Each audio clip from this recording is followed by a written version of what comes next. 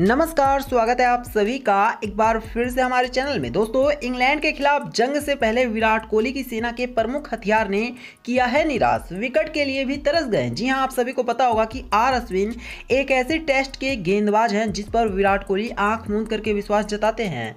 और विराट कोहली को ऐसा लगता है कि आर अश्विन अगर उनकी टीम में है तो निश्चित तौर पर टेस्ट मैच विराट कोहली की टीम काफ़ी हद तक जीतने के पास पहुँच जाती है। लेकिन आपको बता दें, इन दिनों आर अश्विन का भी जादू टेस्ट मैच में नहीं चल पा रहा है। अब देखिए किस तरह से आर अश्विन एक बार फिर से फ्लॉप साबित हुए हैं।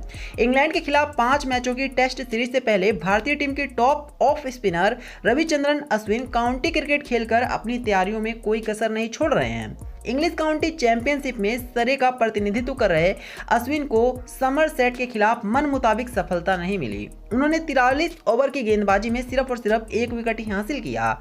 इस चार दिवसीय मैच में सरमसेट की टीम सोमवार को दूसरे दिन के खेल के दौरान एक ओवर में चार सौ उनतीस रनों पर ऑल आउट हो गई।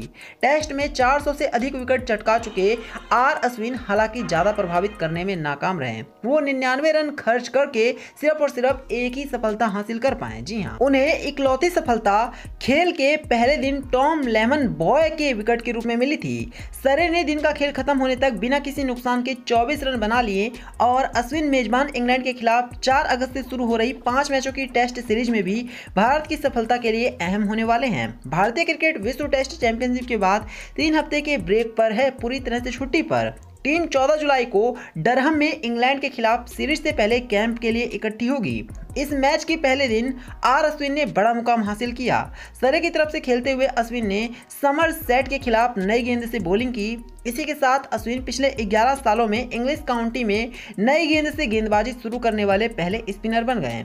उनसे पहले साल 2010 में जीतन पाटिल ने ऐसा काम किया था। सरे से पहले अश्विन ने नोटिंगम सियार और वोस्ट सायर के लिए खेल चुके हैं। तो साफ़ है दोस्तों कि आर अश्विन अब अलग अलग टीमों के लिए खेल रहे हैं, लेकिन उम्मीद करते हैं कि आर अश्विन जिस तरह से भारतीय टीम के लिए सक्सेसफुल गेंदबाज रहे हैं, उसी तरह से इन टीमों के लिए भी रहेंगे। तो यही था वीडियो में। वीडियो को लाइक करना, इसे शेयर करना और चैनल को सब्सक्राइब करना। धन्यवाद।